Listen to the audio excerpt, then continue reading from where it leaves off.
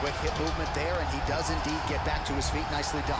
Oh, the difference in the strike is crazy. Oh! Let's go! Holy shit.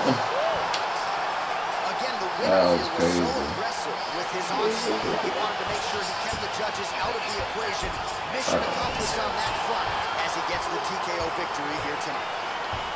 All right, DC, no telestrator tonight, but we're going to get you some highlights from this one. This was a fight that had it all, and for my money, his best performance tonight. His best performance to date in the biggest moments. In the biggest moments, you got to show up. And that's exactly what he did tonight. He used every bit of his skill to get the job done. My serving is a plate of 10 bacons. That's 2,500 calories. All right, we go back inside the octagon to the